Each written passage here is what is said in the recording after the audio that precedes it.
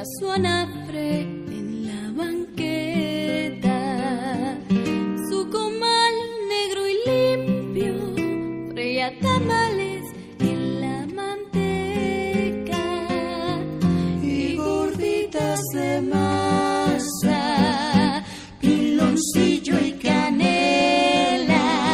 Al salir de mi casa, compraba un quinto.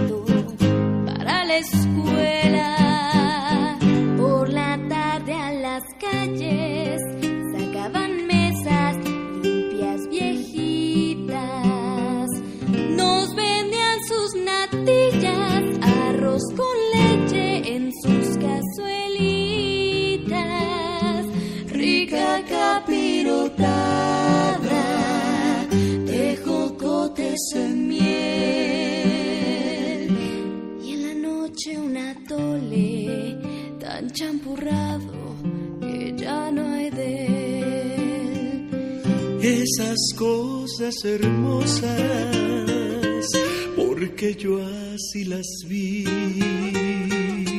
ya no están en mi tierra, ya no están más aquí. Hoy mi México es bello, como nunca lo fue